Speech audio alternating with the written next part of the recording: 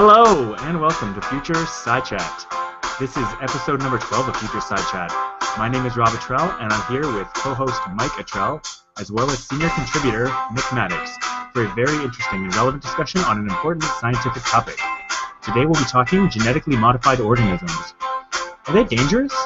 Are they good for you? And can both those things simultaneously be true? We'll also discuss some of the companies like Monsanto that are working on GMOs and whether they really have humanity's best interests at all in mind. Hopefully, we can get set the record straight on genetic modification in general as well. Thanks for tuning in, and I'm your host, Rob Attrell.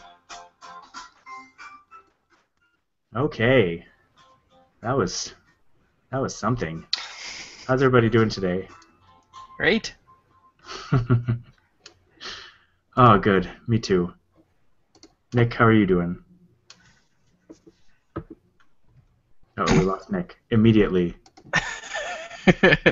or he's just not saying anything for reasons which will become clear in a moment. Oh no. what happened? Oh Nick? no. Wait. Oh. Hear me? what? Yeah, we Oh, can thank hear God. Oh, you lost it there for a It sec. just. We once did I unmuted, it just stopped recording. Oh. Let me try again. See if that happens every time. for science. While while we do that, uh, let's introduce the topic today. So today we're talking about GMOs. Are you going to need us some feedback from us, Nick? No, I think uh, I think I know what's going on now. Is it bad? Is it real bad? Well, the web version is not going to capture the nicest part of my voice. That's probably okay though, right? It's getting it's getting compressed anyhow. Uh, yeah, yeah, okay. Can we live with it? We can live with it. I mean, we're not really living to our fullest potential right now, but we can live with it. Okay. For uh, for listeners that are looking for some context, we are doing a test to see if we can record our audio separately from the actual Hangout recording. And so far, there have only been two out of three glitches. if my audio holds up. Uh, but, but for now, we will soldier on. And uh, yeah, Sorry. Also, there's uh, there's the issue that our oh, words, uh, the recording, like the actual recording that we're doing, that's not muted when we mute for the Hangout. yeah, but So- I can cut it. We're we're separate. Oh, okay. Oh, sweet. yeah. we're good then. I thought of that. so, But now he's gonna hear how we bad talk Rob while we're muted. oh no. you guys, if you really want, you can cut that out. Uh, so let's get started. and uh, first off, I want to talk a bit. Of, again, I like to define parameters at the start of these these episodes. So let's. I, think we should have a broad definition of GMOs, and then also have a specific legal and or scientific definition of GMOs. Uh, because I think it'll clear up some, hopefully, some distinctions that have a lot to do with why discussions and, and debates about GMOs are so complicated. Uh, so, a genetically modified organism, by the legal sense, is something that is is a plant or animal that has undergone genetic modification through biotechnological methods, which means that scientists explicitly took genes or DNA from one creature and inserted them or tried or successfully inserted them into the gene of a different organism. For whatever purpose that is, that, that's how you can broadly define a genetically modified organism. And there's there's the vague definition as well uh, that just says, okay, genetically modified organism is any time you modify the, the uh, DNA, the genes of a plant or animal. And so that kind of thing has been happening. We've been genetically modifying humans, have been gen- genetically modifying various plants, especially, but also animals, for as long as tens of thousands of years, as long as agriculture has been a thing. Yeah. And so I think that we can come up with countless examples in this show about. I, 'cause I think that's a good place to start because it'll it'll provide some context for talking about biotechnolo- biotechnological GMOs. Um, there are a number of examples of, especially vegetables and fruit, that and and things like wheat, where they only appear the way they are today, and they only have the nutrients and stuff they have today in them because we have either bred them specifically to have those traits, or because we've spliced in traits by crossbreeding plants in order to get what we want.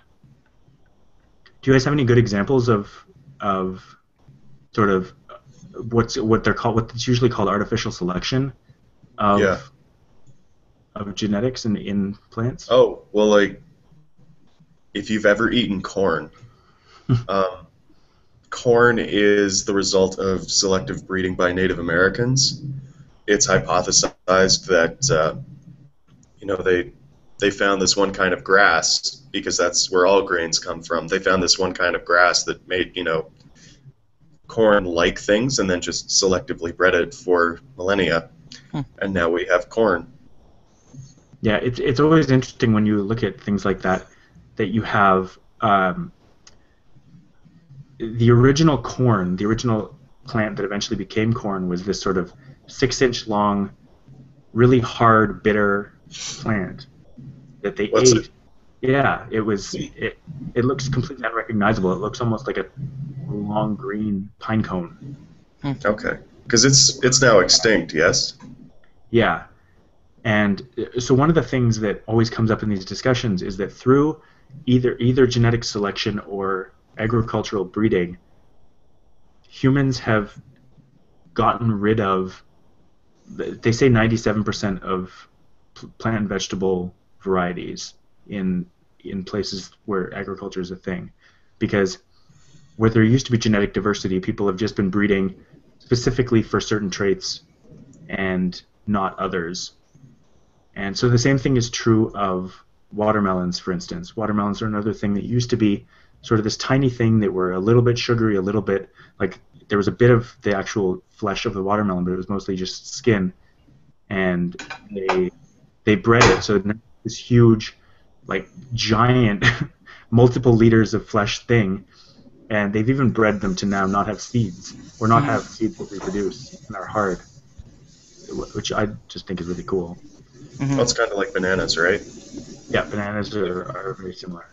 Bananas and a lot of citrus, and my favorite apple of all time, the Honeycrisp apple, is not fertile. Yeah. It's a hybrid, so any any apple tree, any Honeycrisp apple tree you see was grown from like, you know, a splice or something. Yeah. And one of the con- can I jump in with one of the concerns, like specifically on that note? Yeah. Yeah, so one of the concerns with GMOs, and this is more a concern with commercial farming in general, is the loss of biodiversity.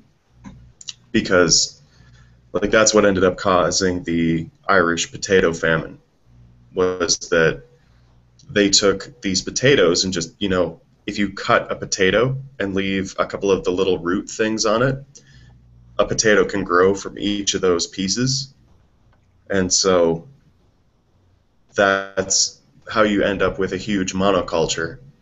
So if a disease comes out that can target that one, you know, that one individual species of potato or plant or whatever, then your entire crop is lost. But so disease can easily wipe out a lot of uh, your commercial crops if you're not ready for it. Although, like, I'm sure you both of you remember my blog post on Svalbard, the seed repository. Yeah, I actually do. Of course, Yeah. I do actually. yeah. One of the, it's a huge seed depository, repository. Anyway, they store like a bazillion seeds in Svalbard, and one of the reasons they do that is to preserve biodiversity in the event of like you know some horrific thing happening. So, like there was an example of a wheat crop that was falling victim to disease, and they didn't really have any answer to it, so they ended up crossbreeding, you know, the commercial wheat with this old pitiful strain that someone had found one day Yeah. but it just happened like in the notes apparently for that strain was like, this is the single most pitiful strain of wheat I've ever seen. Here are the seeds for it. But uh, by hybridizing the crop with that specific strain, they managed to you know defeat that disease and come out on top again. Right. Hmm. It's it's worth noting that the, it, this is sort of a pattern that keeps repeating throughout history, because when you when you do splice or when you take a, a plant and re, like you would take a potato for instance and replant it, that new plant is a clone, like literally Yeah. the clone because plants reproduce asexually; they just grow. And so when you if you cut a, a tree and replant the top part, it's literally it's not necessarily the same organism, but it's it's a clone of that organism. So it's going to have the same susceptibility to drought, to disease, to any kind of any kind of thing that can go wrong. And so when that does happen, the entire if, if there is a disease, the entire species is susceptible to it because they're all clones of one another when you when you do this for agriculture. Yeah. Do they have different souls though? If they're the same, they're a clone. Well, that Yeah. depends on whether or not plants have souls, Mike. That sounds more like a theological debate. That's true. We'll say that for the after show. I, I'd say yes for sure on that though. They're, they're different. You, like a set of identical twins still are different people. I don't think are identical twins clones of each other. Yeah. Yeah, Really? Oh, yeah. cool. The, yeah. The one of the first few splits of the egg, uh, the fertilized egg, ends up just splitting completely, and so you get two totally totally identical sets of genes. But again, yeah, the fingerprints wouldn't be exactly the same.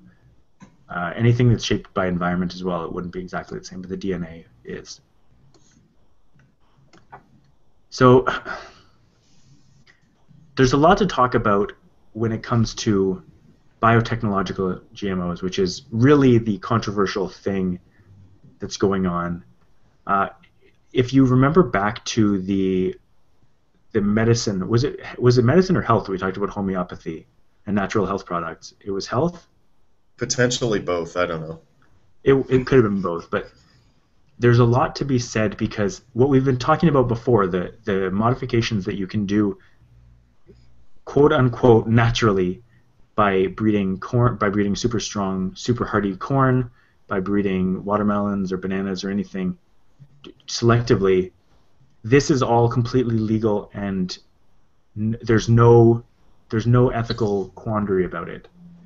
Whereas when you are going into a gene and specifically splicing in traits you want, or crossing two things in a biotech lab, hoping for something else to come out that you want, suddenly you have to go through years or even decades of trials, and you have to go through, e- even though they're trying to specifically craft, they're basically trying to play God with these genes and to get trait, specific traits they want.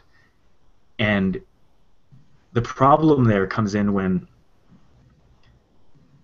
you don't always when you mess with genes and we found this out time and again going through this century where we've started to get to know how life works more uh, you can't just change one gene to make a change there's lots of stuff going on i thought that was very interesting and so it sort of i would say that genetic splicing whether you, when you're crossbreeding plants is the same as genetically modifying an organism in that you have no idea what's going on. You you can't control the effects specifically. Sometimes it works out that you do, but it's not a guarantee at all.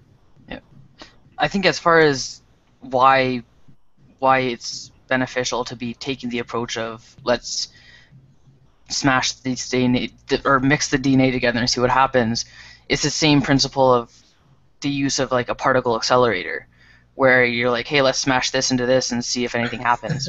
and then if something happens and it's useful and it gives you insight, and you can you know discover a new particle or a new energy level of some sort of atom or whatever, then you benefit from that. If nothing happens, then it stays in the lab, kind of thing. So, in the same way, you can't discover new things in a biological, agricultural sense unless you just kind of mix two things together and see what happens. Like, no one can expect, yeah, like they don't know what's going to happen because it's science. Like that's that's the whole point. I think. Yeah, that's why you do the Right. experiment. Yeah. I think um, I think part of the problem with that process is that you know we're just being human beings that live in the world. We're familiar with the process of seeing you know seeds come out and plants breeding and things like that. But all of a sudden, something's happening in a laboratory and people don't really understand what's going on, and so it seems all cloaky and daggery.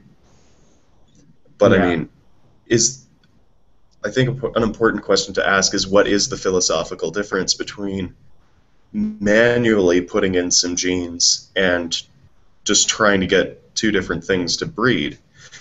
Because in both cases, you don't really know what's going to come out on the other end. You're just trying to see what happens. And actually, as an aside, apparently the first attempts at GMOs were they would just take seeds and bombard them with radiation, like force mutations in the seeds and then grow all of them and see what happens like see if any desirable trait comes out. Right. but I, I also remember my mom talking about that because when she went to high school they talked about doing that. So that's about how old the process is. But yeah she said like yeah you'd grow these irradiated seeds and they'd- they'd come out all twisted and weird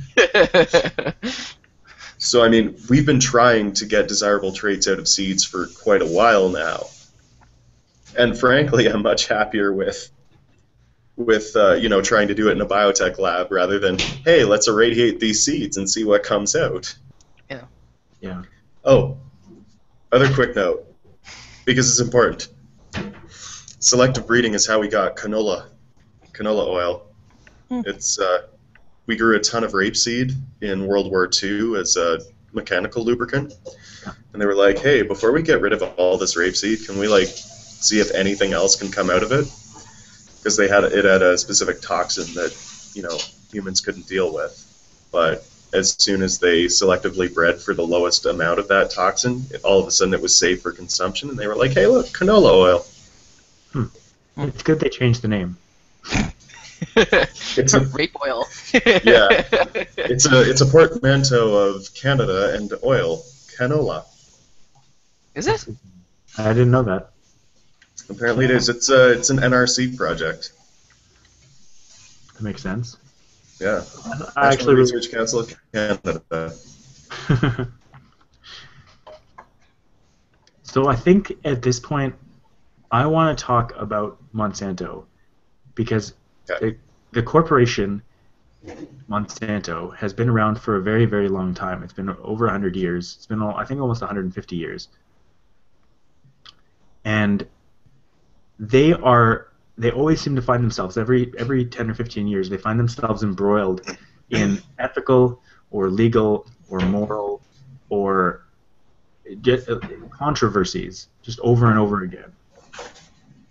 And so we've been talking a bit this week in, in preparation for this about it, it trying to figure out is Monsanto bad? Is it is it something that just comes from the nature of being a massive chemical corporation? It seems to me, looking through their history, uh, they've done things with PCBs, which are a type of plastic that have been shown to pollute the environment and have been terrible for for, for water sources near the factories where they're made. Uh, they were responsible for developing Agent Orange, which was used in the Vietnam War. They were responsible for DDT, which is now banned, uh, which was the pesticide that was super effective but also killed everything pretty indiscriminately. And what seems to happen, all of these things have now been discontinued or banned and then discontinued uh, by Monsanto. And it seems like they get into business to try to make to try to make something that's helpful and good, and then just leave town as soon as it goes bad. And then they move on to something else with all the profit they made. Is that? Well, I don't know. Like it seems, it seems a lot of Monsanto's problems come from just general dickish behavior, where it's not necessarily warranted. Like the whole, let's patent a genome. It's like, well, that's you know an ethical gray area, and I can see the business reason that they're trying to do it, but you know, Yeah. to answer your question, Rob, about you know, about if it's just coincidence that they're involved in these things. I think part of it is that it's almost a correlation that's not necessarily causation kind of thing because with any sort of scientific advancement, you come up with something that works for what you need, and then as more research is done to it, then you realize the pros and cons of having it, then you reanalyze if it's worth continuing to use it, kind of thing.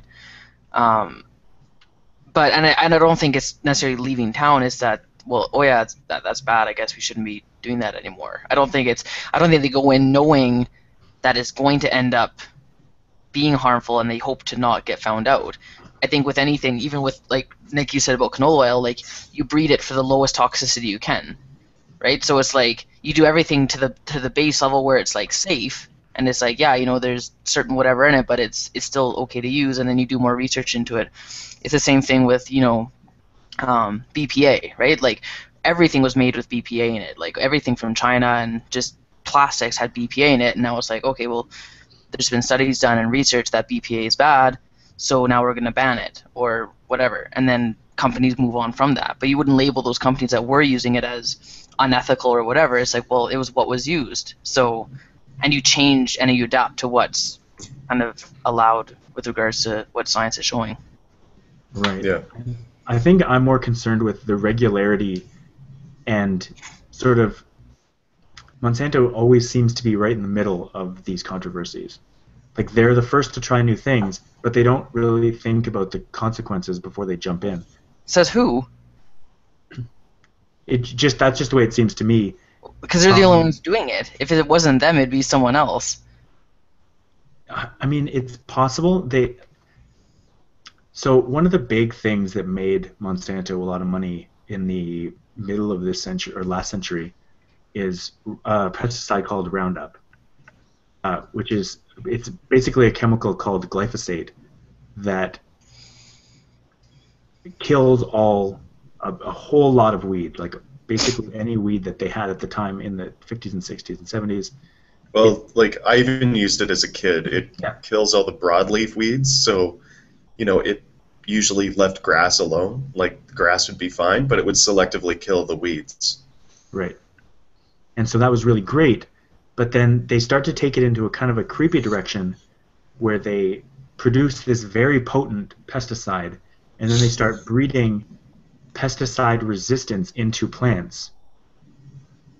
And then either patenting, copyrighting the the genetic sequence of the plants. Like specifically there there's corn, soybeans, uh, there's a few different crops. I think wheat probably as well that are that are made Roundup ready is what they call it, so that you can apply Roundup and not worry about it affecting your crop yields at all. I believe Mike had something to say on that. Maybe. you can go first Um, well, I mean, there's that's a consequence of commercial farming in the modern era, though. Like weed, so weed control is a problem for farmers because you don't want weeds competing for resources with your valuable crop. So the way that people used to do that or deal with that was, you know, massive human labor, labor or in some cases just slavery. Slavery was how you got rid of it. You had your slaves go out into the fields and pull all the weeds. But in today's society, you don't want to have to. Like, human labor is just too expensive, and it's far cheaper to just be able to spray a pesticide on, you know, over the whole field. And it works out really well if your valuable crop is not vulnerable to that pesticide, but the weeds are. Now, I'm not I'm not sure how they get things Roundup ready, but I'm almost certain that you could do it from just planting a whole bunch of corn and then spraying the pesticide on it, then taking the ones that survive and just breeding from those. You could, I think, you could do that, but the whole point of G- GMOs, in the in the biotechnical sense, is that it's way faster if you do it genetically, if you do it directly in the gene. And so that's what they've done Okay. with these Roundup Ready crops, and that's why, that's why they think they or they so far they've had in some court cases the legal grounds to say that we we should we want a patent on this, and they actually end up signing agreements with major farms that say we will not replant. We will plant this crop, and then we will not harvest the seeds and replant. We will like they have a legal obligation to buy new seed from Monsanto every year. hmm And there's lots of evidence that says that these new these crops are because you use Roundup and, and pesticides and there are lots of things that you can do to make your uh, crops have better yields if you have to deal with weeds, but it also completely destroys your soil. After a few years, I mean, soil it's hard enough to keep to maintain good soil composition, but these these pesticides and herbicides make it so much harder. Like it decimates the soil that you're trying to use. How, do, how does it harm the soil? Just all the chemicals that like it. From what from the reading that I was doing, it it kills a, or it kills or at least neutralizes a lot of the bacteria and stuff and Oh, chemicals that actually help plants grow. And so it's right. there are plus sides in in that you don't have to deal with crops, but there are this whole other host of problems. And now there are weeds that aren't stopped by Roundup, which is obviously what's like all it took is the same thing with antibiotics. All it took was natural selection to catch up to artificial selection, which that's the whole reason for using artificial selection in the first place is that it's faster, but it's not unbeatable hmm there's a whole generation on the plus side of things. There's a whole generation of bacteria and um, and related small microorganisms that are developing enzymes that can break down plastics in the ocean. And that happened like plastics were invented in the 30s or 40s, and so in less than 100 years, they these microbes have come up with enzymes that'll break down plastic. And the earth and life is very good at adapting so it doesn't take long for anything that you're trying to stop to catch up to you no matter how advanced your science is uh, This conversation really wa- really makes me want to just stop and go watch all the Planet Earth DVDs again. Just be like, wow, life is amazing. It, it really is amazing. Um, there's another there's another issue, and this is something that I I didn't know about. Uh, two other things that Monsanto did, two other fields that they were trying to get into. Uh, they had a pharmaceutical company. They owned a pharmaceutical company up until about 2002 that had again they had a bunch of legal issues with drugs and with things that they were trying to do, and they ended up selling. It, there, there was a whole I think it was about a 10 or 12 year process where they went through and systematically in a legal loophole type of way said okay we have there's this old company Monsanto that operated until the until the 90s and Monsanto now after this whole thing where they where they sold off a bunch of different assets and transferred things around transferred staff and transferred there's now this new company that's also called Monsanto it's headquartered in the same spot in I think it's Indiana but it's it's a legally distinct company from Monsanto that that existed before and did all this stuff throughout the early part of the century. Yeah. I- I just think, I mean, I, I understand from a business perspective why that might be beneficial to, to sort of have this clean slate, but it just makes me wonder if they can just keep doing that. They can do these bad things, get involved in litigation, then they can sell off the parts that are involved in this so that they don't have to deal with it anymore. There was a whole story uh, where they were trying to genetically modify pigs, and then they were trying to, they were literally trying to copyright the genetics of pigs. So if if anyone anywhere in the world tried to raise these pigs as farm animals, they would have to pay a licensing fee to Monsanto. Anywhere in the world, whether or not they got them from Monsanto directly or they'd been breeding them for years. And I, I think it was struck down, and I think almost immediately after it was struck down, they were they were like, okay, we're not we're not going to try this anymore. We're just we're selling that part of the company and moving on.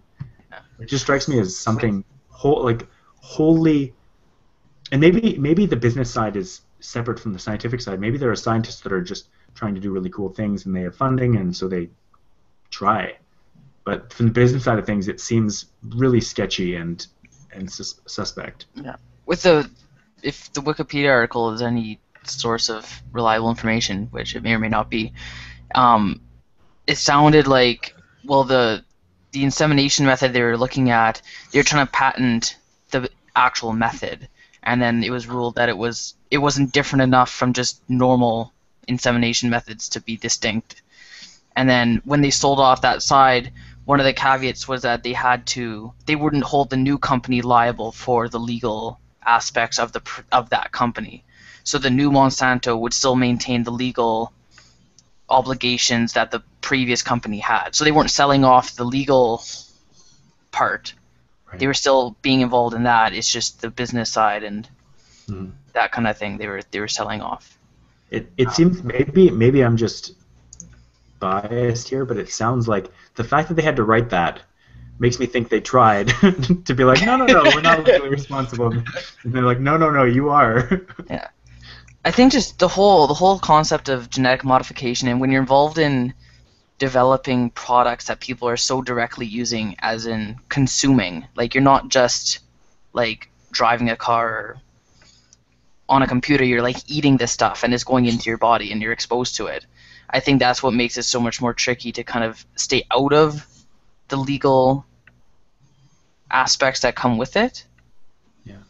and there's just I so much more scrutiny when when you either come up with something that doesn't work or so yeah, it turns out to be bad. It's like, oh, I can't believe it. But when you see like recalls on like little bouncy balls, like no one's like calling out those companies and saying, why are you developing bad products?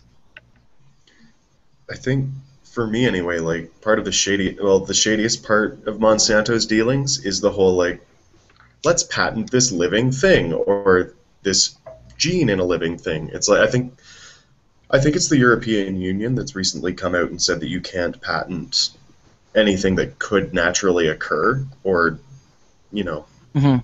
some wording similar to that. But it's like Mm. when you start patenting living things that are capable of reproduction and just being living things on Earth, that's when it starts to get really odd. hmm Like just a horrendous quandary. Yeah. Yeah.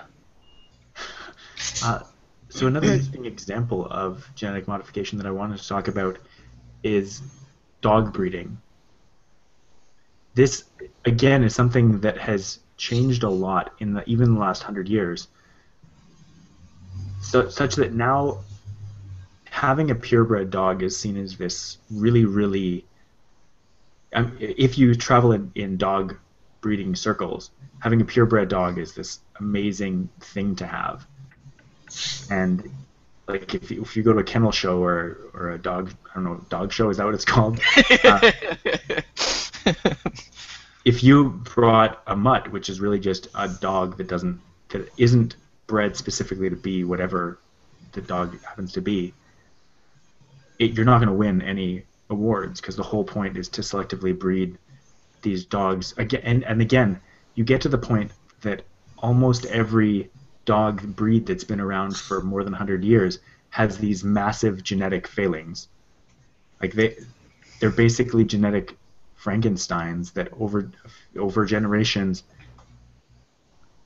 are like there's examples with i think it's pit bulls that like they most of them now have hip dysplasia where they like have a hard time walking. I've just been alerted that Frankenstein was in fact a doctor. Uh, that's fine. Yes, you're referring to about Frankenstein's monster, I believe. Frankenstein could have also been uh, selectively bred. No, if you rule that read the if you read the book, no, he wasn't. But if I may jump in on that topic, not Frankenstein specifically, because I hated that book, but I want to say Um, there's a video before before you get too far. There's a video that I'm going to put a link to in the notes for uh, from College Humor where they talk about it's a series called Adam Ruins Everything. They talk about dog breeds and just go through like a laundry list of how selectively breeding dogs again is basically like cloning, and you get to the point that their genetic diversity is so small that they develop all kinds of problems because of it. And so the best thing you can do for dogs as a whole is to go and grab a mixed breed or like a, a super mixed breed. It's called a mutt, but, but just a regular dog, and it'll be the healthiest possible dog you can have. Yeah. Well, Well, I think. Sorry. like, uh, sorry. Um, I mean, dog breeds started for a very utilitarian purpose. Like, Yeah. prior to 1910, you had all those dog breeds because they were legitimately useful for something. I mean, in most cases, I think anyway. I don't know what. I don't know what they're called, but you know the ones that are like a squirrel could give them a serious run for their money. I'm not sure what those are used for. Right. Like, I know a lot of dogs that are lap dogs, like they're literally bred to just sit there and Look nice pretty. Yeah. sitting.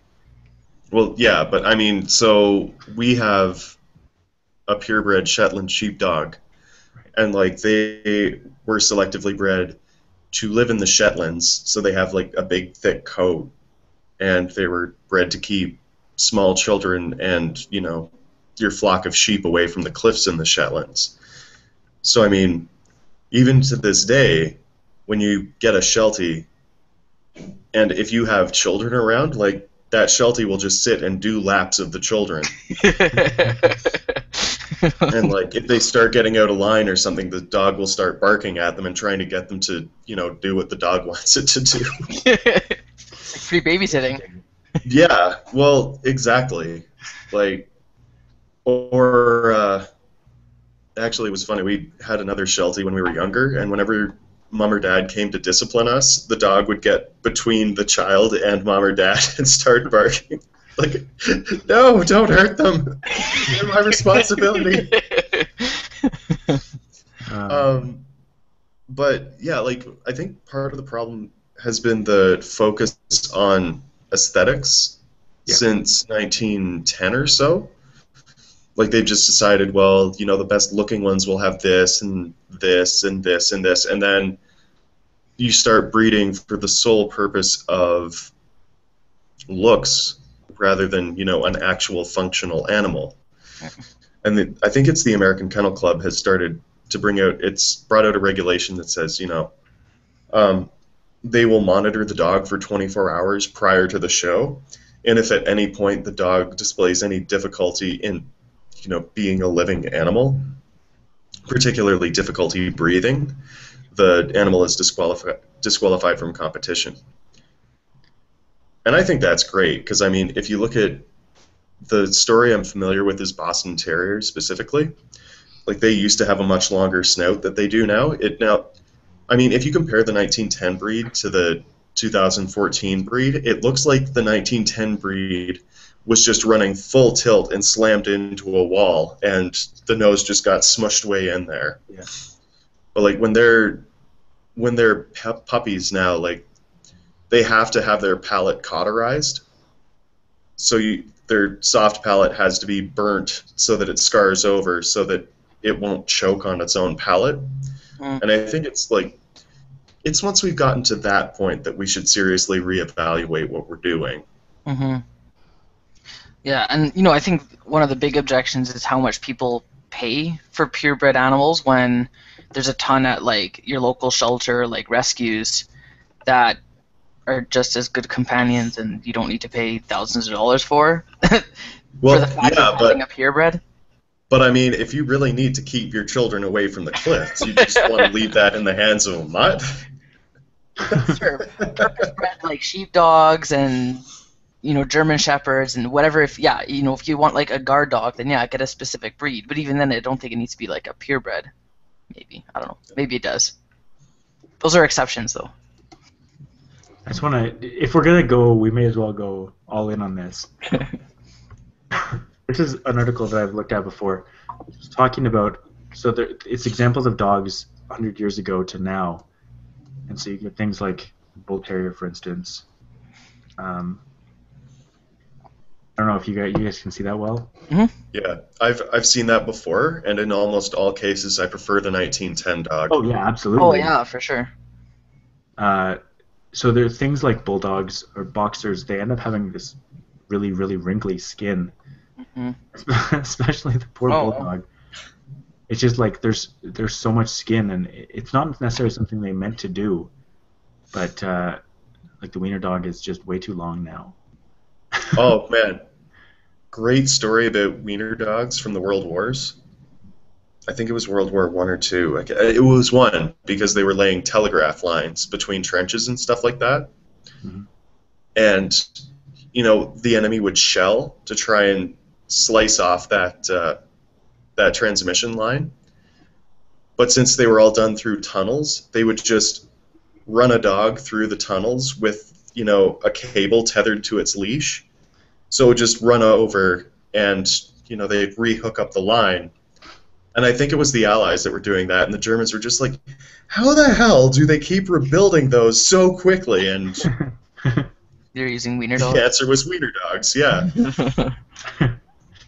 Yeah, it, it's not even so much like there are tons of examples of this the dog breeds getting worse as they get bred more and more. But the biggest problem is, and this I'll put a link to this article because it's pretty in depth. They just talk about all the changes that have happened and all the genetic and systematic illnesses, diseases, problems that they can have now that they there just didn't happen before. Like there are all kinds of health problems that these dogs have now that they that weren't a problem when they were just dogs. Mhm. And it's just it it's genetic modification, not even biotechnical, but just genetic Well, it's like- modification taken too far. it's like anything else that we domesticated. We just took it and selectively bred it to our needs. And it just happens that you know dogs are particularly useful for doing a whole bunch of things. So going going back to GMOs for a second for humans, a big argument that I hear not only just the GMOs but vaccines and whatever you know additives, um, artificial sweeteners, whatever, that you know people these days they have a lot more disease and just you know cancer and all this kind of stuff.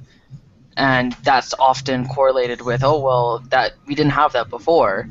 Or you know ever since we started using this you're seeing more sickness and whatever. But i guess my my take on it has always been we just have better diagnoses and documentation of people getting sick and just more research into that versus actual more occurrences. Plus just people living longer too but i don't know what your guys' take is on that. Well i think with that specifically like that's i mean that appears to be false correlation because i mean specifically with the rise in cancer rates and stuff like that i mean it's a horrible disease don't get me wrong i would far rather be, see people just die of old age in their sleep but um, like with cancer specifically you have to look at what's actually killing human beings now. Like if you go back I think again, it's like if you go back hundred years and look at the cause of death in a lot of people, like a lot of those deaths were caused by diseases like polio and measles, rubella, mumps, like things like that that could be potentially lethal, wiped out a lot of our population. And so we started, you know, uh, vaccinating for those things, or we started treating people for different things and so now it's just the overall makeup of what kills us as a species has changed because i mean something's got to kill us like Mhm. it it seems perfectly reasonable that a lot of people with uh, cancer might have just died earlier of something else it's just they've only lived to the point where the cancer can actually you know activate Yeah. Well, and that's that's not to say that obviously young people get cancer and die of cancer, but a lot more older people are dying of cancer too because they're living longer. So Yeah, yeah. And so, like, heart and stroke is on the rise as well, but I mean, we've also lived, we also now live in a place where, you know, we have so much plentiful, terrible food for us that it can start influencing us that way and, like, killing us that way. It's Yeah. just, well, we don't have to I mean, till we've the gotta- fields anymore either. We're sitting at desks. yeah, yeah, yeah. Yeah, sedentary lifestyle is also a big factor. So, I mean, something's got to kill us, and it's going to be something different. Yeah, if, as we get rid of causes of death, it doesn't mean we're not going to die. It just means it's going to take longer, and eventually, like, uh, it seems like different diseases have different. They affect you in different phases of your life, and cancer happens to be one that, if you live to 80 or 90, it's like 50-50 you're going to eventually catch it, get uh, one type of cancer. Mm. Whether or not it actually ends up killing you or, or what is is up for debate, but it's just the cancer is basically the body's instruction set and way of living breaking down in some meaningful way.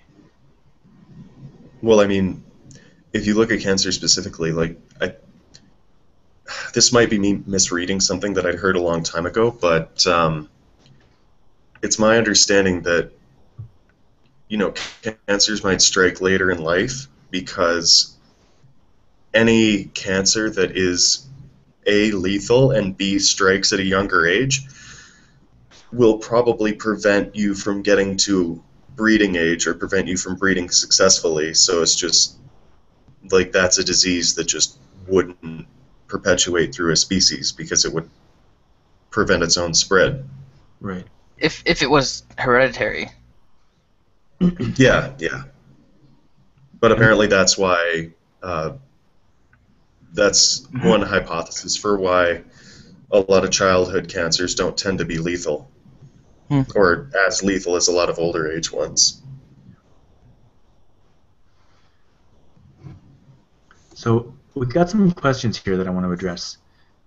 Uh, questions from fans of the show, and I think that the questions that are here and the way they're worded, especially, um, a lot of people, a lot of just common people, have heard genetically modified organisms are bad.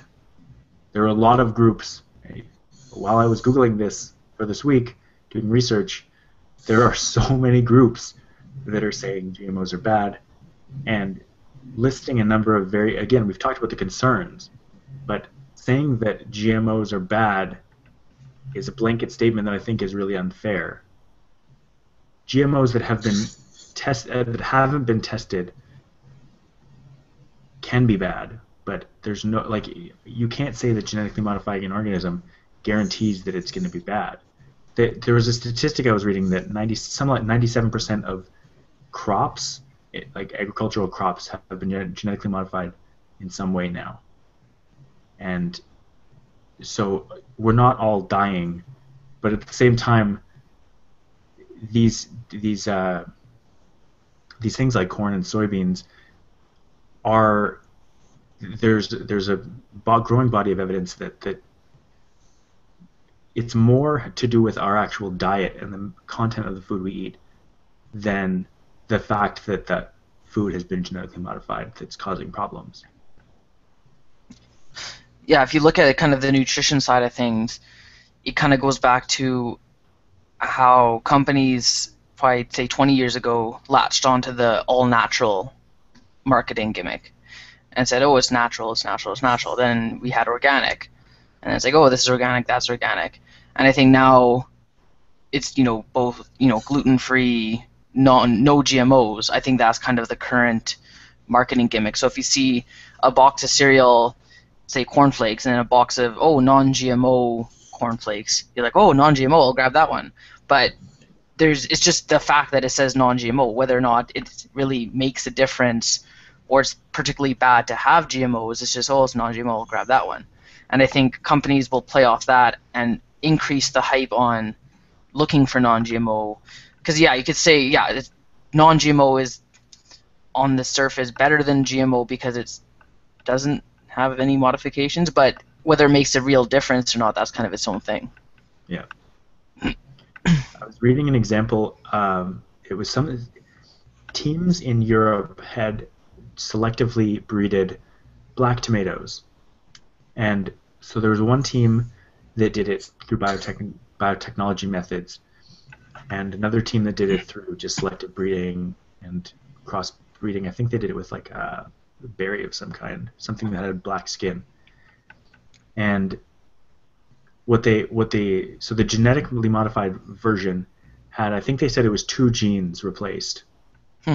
Specifically targeted two genes, and in the end you got this tomato that was other nutritionally the same, but was black, Hmm.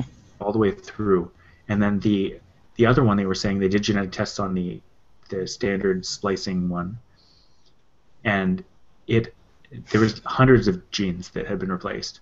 Hmm. Like it was it was genetically modified so much more, and yet it it wasn't better, and the black skin was it was only skin deep. The, the most of the meat of the tomato was red.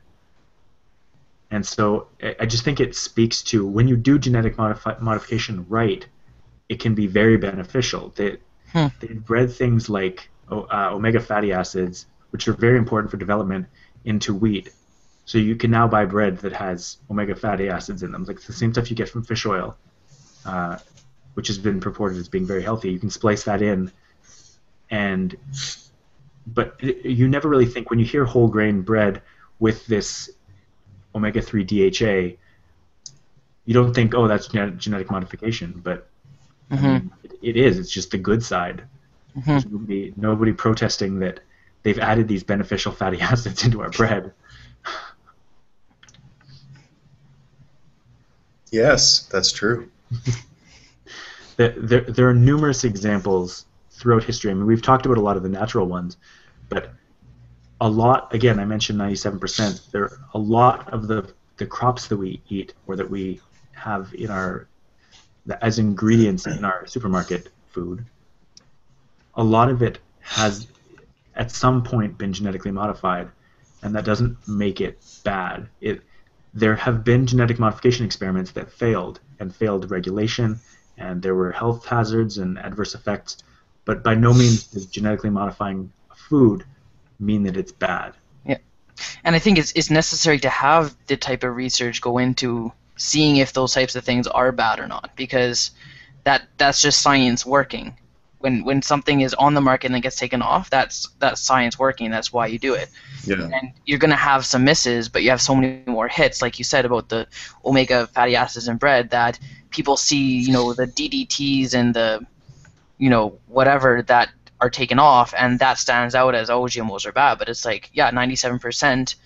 If that number is accurate, then that's a great majority of agricultural products are already being genetically modified. Yeah, it's in some way. It's not to say that there are these frankenfoods that uh, that 97% of them are like horribly. When people think modification, they think it's completely different. We're talking about small modifications. Yeah. Um, Well, it's a, it's a very scientific process in that Yeah. in scientific experiments, it's all about control of variables. Yeah. So, I mean, that's how genetic modification works. You're trying to change one or two genes at a time and see what the difference is.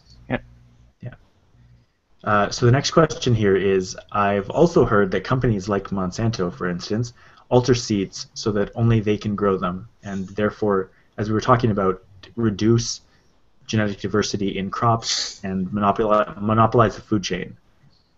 And so, again, we've we've kind of ta- touched on that, uh, and Monsanto have taken steps, but more of the, the steps they've taken more strongly have been legal steps to say they'll sign agreements with companies and farms saying you have to buy our seeds every year. You can't just replant them. They did experiments with with crops that didn't reproduce, didn't didn't produce any seeds, but those ended up not. I think it was regulation that actually stopped it. So those aren't a thing. They tried it and they got blocked. I think, if anything, that that aspect is more just an unfortunate consequence of our, our capitalism and patent licensing system. Like, you know, that's in every single industry. You have patents and licensing and licensing agreements and patent infringements and lawsuits. Like, that's just a part of business now, and it's unfortunate. Yeah, I don't agree that it's it's beneficial to anyone, but at the same time, yeah, you have to have. Like, I was reading that these these companies, especially the the research intensive and uh, yeah, R and D intensive endeavors, there's a lot of money going into it, so they need to protect that investment and to get the return on the investment and encourage like future development. you can't just be releasing this technology and just not protecting it and having it just get widespread without having to buy it from the original developer because that that wouldn't be fair. Yeah. As a complete aside, are we all familiar with the song "Truck Got Stuck"? No. Oh, very last part of the that, of the song, they start talking about some genetically modified canola seed that was genetically modified for control of the weeds, and something something spilled it all over that native prairie soil, and agriculture agriculture Canada is going to be looking for us. Link it in the notes, Rob. I'll, I'll, well, you add it, and I'll I'll make sure a link goes up. Um, Please do. sounds fun though. Uh, so Oh the yeah. next question, the next question uh, why is why is the government not stepping in to protect us from these companies like Monsanto when it's potentially destroying our food chain and nobody appears to gain from it except them? Well, it's a free market. That's why they don't step in. Like It's nobody's free force nobody's forcing you to buy from Monsanto. It's just Monsanto tends like the Roundup Ready seed and stuff like that. It delivers very high yields, which is absolutely what the market is calling for. It's very easy to deal with with the um with the pesticide or the herb, herbicides that are available, and that's why they buy them. hmm Like, frankly, I would like to see more regulation on the side of you know increasing the nutritional value of the crops rather than just yield. Mhm. But I mean, the government's not stepping in because they're doing a very good job and it's a free market. I'll, I'll liken it to a, a technology that I'm more familiar close to is within oil and gas drilling you have these companies that develop technologies to you know drill a better well or that kind of thing so when a company develops a technology that uses a novel method and gets it to a point where other like oil and gas companies want to use it then they have a patent on it and no other company is able to develop it until a certain period of time has passed. So this year actually a very big patent just expired. So now all the companies are trying to come up with their own um, variations on that technology. But the whole point being that like you need to still reward the first company that comes up with it for putting the initial development and research into it. So it, it wouldn't be fair to just say hey we have this new technology everyone used it for themselves like in an ideal world, world yeah you'd have that but you need to kind of still have the Yeah. the So- reward aspect One of the things that companies will do, big companies especially, is they will lobby uh, government to do things like make changes uh, to allow genetically modified organisms to write laws that make it easier to get them through. They will do things like uh, you're mentioning patent law. There, there are organizations that lobby governments specifically to change and extend patent protection.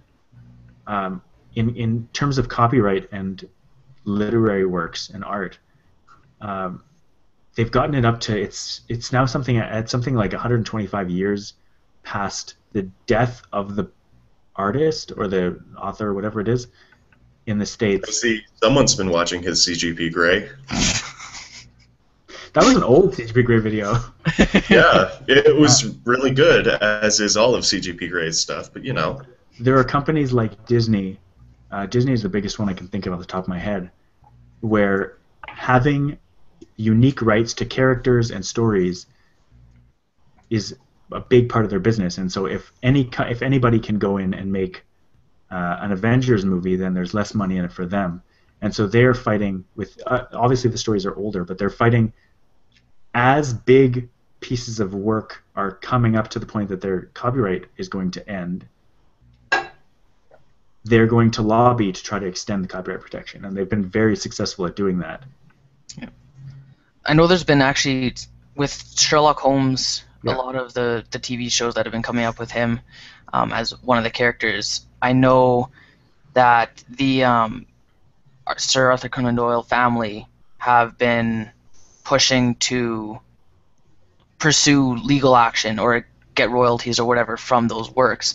And I can't remember the exact caveat that they've been using to get around that, but I think it has something to do with that. It's a reinterpretation and that because Sherlock Holmes was a character and not a direct work, that they can still kind of use it. I, I don't know the exact details off the top of my head, but there's Right. definitely that issue there with with that. That sounds like they're trying to protect it under fair use. I'm, So yeah, I'm not a- sure. We're not blatantly ripping off the story of Sherlock Holmes like the, the original story. It's just you know inspired by, Right. or they've significantly changed it to the point where it does not reduce demand for the original product. Yeah, maybe something like that. Yeah, but they're still using the same like Sherlock Holmes as a character name in it, so they're still using Yeah, that character yeah. name. So I, I don't know how that all plays into it. But. A whole batch of the stories. I think the the character Sherlock Holmes has been public domain-ish for a while, Mhm. but a whole batch of stories recently, like within the last year, went into the public domain. Whole, like literally the stories Mhm. were written. So that's why we've seen a bunch of Sherlock Holmes related stuff going on. like a bunch. Uh, and so the last question here: uh, If governments aren't going to take steps to stop it, shouldn't we at least be advised via either labeling or education to try to make informed choices about genetic modified organisms? Uh, I, I'd like to think that in a perfect world, what you would have, you wouldn't need labeling or education that a product had had been genetically modified or part of it had been genetically modified at some point, but you'd want labeling and education saying that this happens when we allow it. We allow it because we've deemed it healthy, or at least as healthy as the original product was. There are lots of things we still don't know about how food affects our bodies. We just know that we need food for nourishment, but there, we eat sugar with impunity, and it may be just the worst thing we could possibly do. hmm I think one of the things that's worrisome about going that route is that, like you said, yeah, if you start marking everything that's been genetically modified, it sends up red flags and alarms that are most likely unnecessary. In the same way that anti-vax organizations go on the basis of, oh, we're just informing, or we want an informed choice, or whatever.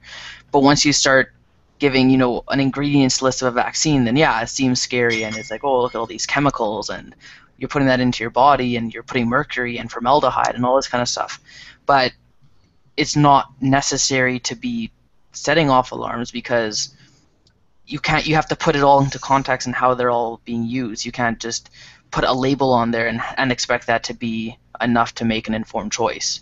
So I think I, I think education is definitely important, and no one's saying to stay ignorant or naive or whatever, but I think you have to be careful when you talk about informing because you want to inform in a sense of, well, there isn't really anything to worry about, not necessarily just full disclosure of absolutely everything that's happened to it, I guess. Right. Yeah, it's an important distinction for sure. And so, like, I, I would have no trouble if I got word that there was this new genetically modified thing that had just passed testing, and it was whatever the food ha- product happened to be was a healthy alternative to the previous product. I like go nuts, try it out. There, we do that on lots of things all the time. We do that with medication. Like medication can only be tested so much, and they go through a lot of trials, but the genetically modified food has to go through the same processes. Yep. There are very, very strict rules about the kind of health effects and, and nutritional effects that these foods have. hmm Yeah, I mean, I, I don't know if I don't see a problem in labeling GMOs, but I I don't think I don't see a problem with labeling it, but I don't think that people necessarily understand like the broad market necessarily understands what it means. Th- yeah, that's They what I mean. Yeah. Yeah, they just think it's scary and so like yeah, go ahead and label it, but try and inform the public as best you can what's going on because I mean there there's a lot of misinformation out there like a story I saw pop up on my Facebook feed where they said, "Hey, they put down this field of genetically modified corn and then uh, you know, a bunch of a bunch of bee colonies next door ended up dying. They experienced what's known as colony collapse disorder. Mhm. But I mean, I read that headline and I went, well, you know, like neonicotinoids, the pesticide, they'll they'll coat these seeds in neonicotinoids so that pests don't get at them. But when you spread a bunch of seed that are coated with something, you, you get that coating going off and being carried by the wind. And so I thought, it sounds like if you lay down a crop, it's probably a pesticide issue that's killing the bees next door. And lo and behold, the article was like, yeah, GMOs are terrible and we hate GMOs. And some experts have suggested that it's actually the neonicotinoids that are going through the process of review in Canada and, you know, might be banned soon. But GMOs are still bad and you should be afraid. And it's Yeah. like, yep, You don't have to my be chemist afraid. sense was tingling. Yeah, be aware more than anything else. Is there anything else you want to say on GMOs, or should we wrap it up? Um, I, I think I've said my piece. All right, we'll uh, Tasty. we'll head to the after show. Sounds good to me. All right. All right, sweet. Glad to hear it. Thank you, everybody who is tuning in right now, or listening, or enjoying this show. We're very glad to have you here, and uh, yeah, you can find us on YouTube at Future Chat. Uh, we're also on Twitter at Future Chats. You can find us on Facebook. Go to futurechat.me uh, to find our website, and you can get all the videos there as well. We really had a good time this week, and we'll see you next week.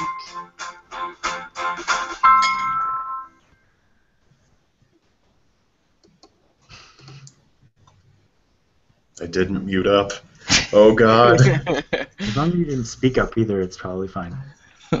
I was gonna say that I like that uh, you distinguished those that are listening to the show and those that are enjoying the show because I feel that's an important distinction. I don't know that it is. Why would you be listening if you didn't enjoy? I don't know. There's been at least one person that listened to a show Oh, that's true. very angrily, Scott apparently Busy. all the way through. Hopefully he's still listening. Give us a chance. I imagine he is. He didn't comment back and say, "You guys are still bad." So he's happy with the improvements we've made.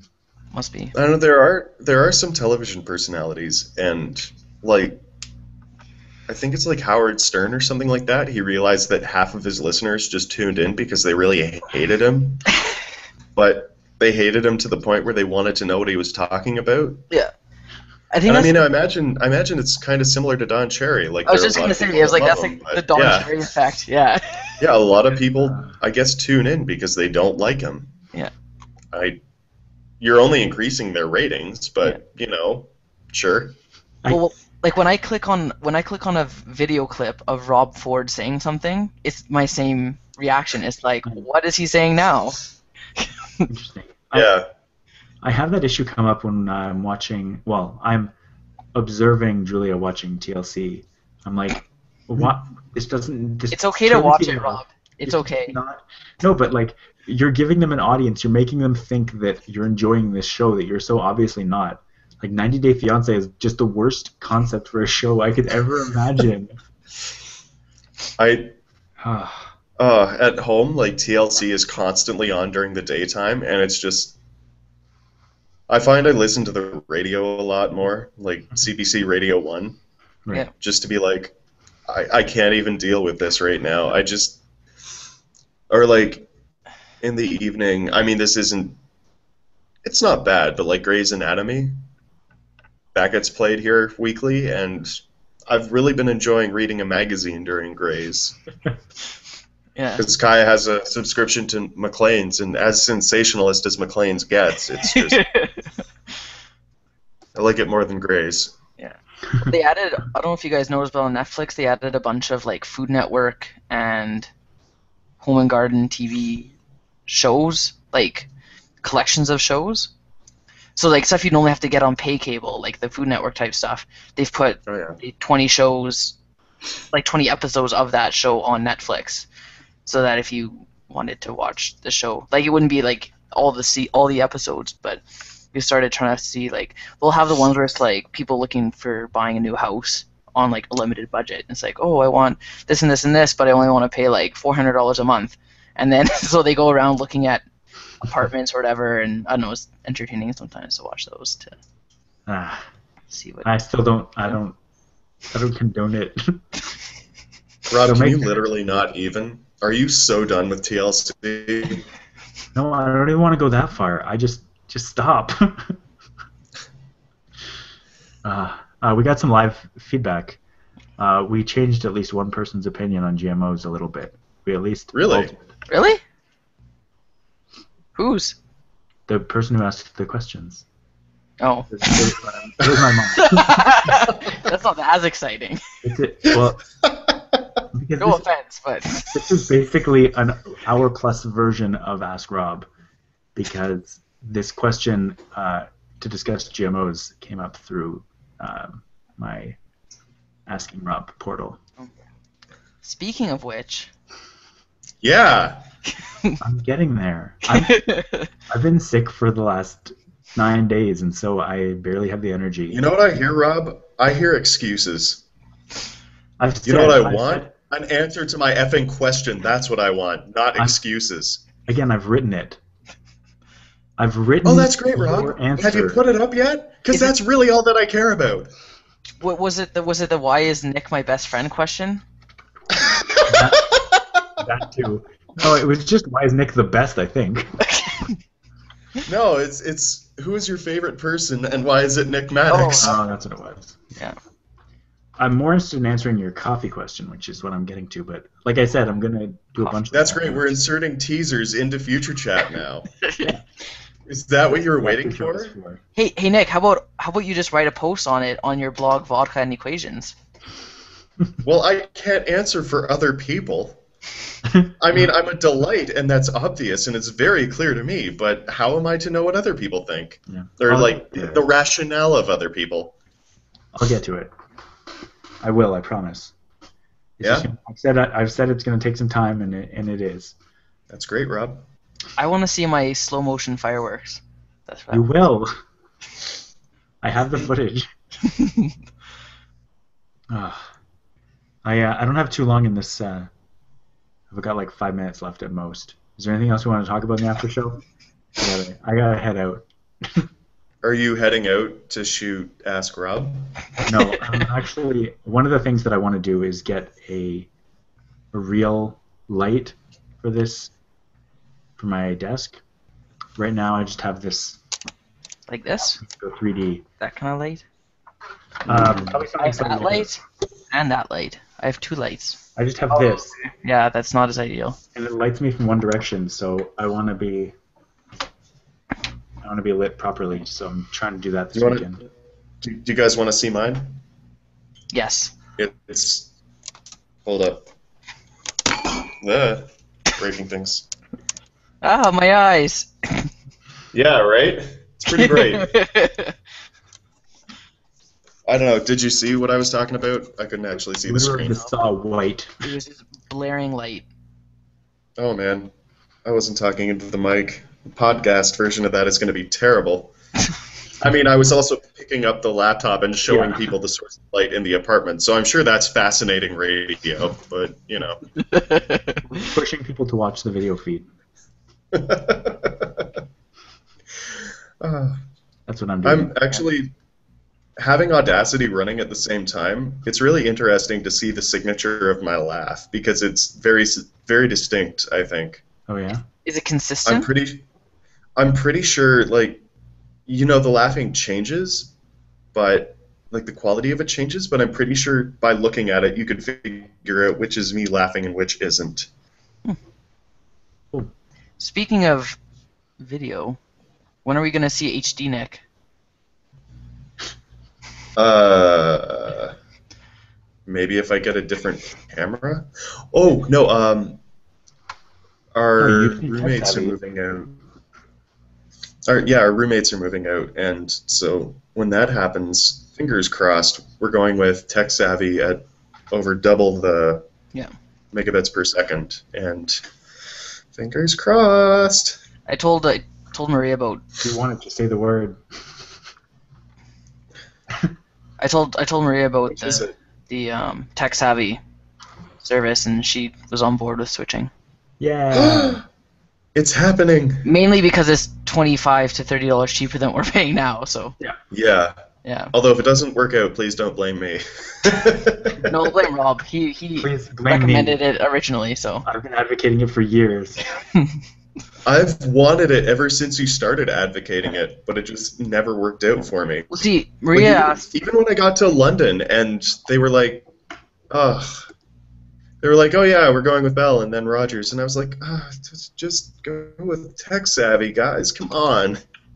See, Maria asked, well, is there like a decrease in like service quality or whatever? And I was like, well, apparently there's issues with just getting like text over if you need help sometimes. Did But did I show you guys the story that they did on me Yeah. and the Toronto Star? yeah, but but I guess the whole point being that we do, we don't get text over to our house ever if often enough to make it worth paying an extra Yeah. twenty to thirty bucks a Yes. month. I'll put it in the notes because uh, it's hilarious. it's so long. Wait, when did. It- This after show was was sponsored by TekSavvy. Yeah, Savvy's great. Uh, this was published almost over a year ago. Was it actually on you? Oh yeah, it is. The first two words of the article Oh. were Robert I don't think I read this one. Wait, did I? I don't remember reading your name in it. It's funny because they go through the entire thing. Uh, they say that there are, uh, where is it? TekSavvy can't say the name of their, their, uh, they have like an agreement to not name who their providers are, Right. and then later in the article they just straight out say Rogers. Oh my god, you were in this. I Did I did. know it? Why don't I remember reading your name? I remember this article. I don't remember your name in it though. yeah, it was always there. I like how you refer to as Attrell. It's like That's you're not- crazy. You're not Rob or Robert. You're Attrell.